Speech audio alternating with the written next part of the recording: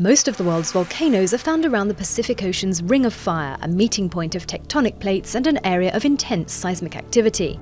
Tectonic plates are massive slabs of rock making up the Earth's surface. Constantly moving on a hotbed of magma, volcanoes form in two ways at their boundaries. Plates sometimes collide, causing one to slide beneath the other. This is called a destructive boundary. Pressure and heat created by this movement force magma up into the cracks in the rocks until it explodes to the surface as lava, causing a volcanic eruption. Molten rock, debris and gases from the Earth's interior are also emitted, either from the main crater or from secondary vents. Plates can also move away from each other at so-called constructive boundaries. In this case, magma rises to fill the gap, creating a new crust. When this happens under the sea, volcanic islands are eventually formed.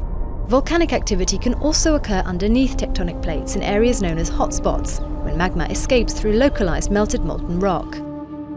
In terms of activity, volcanoes are extinct when they haven't erupted for tens of thousands of years, dormant when they're temporarily inert, and active when they regularly churn out gas or lava.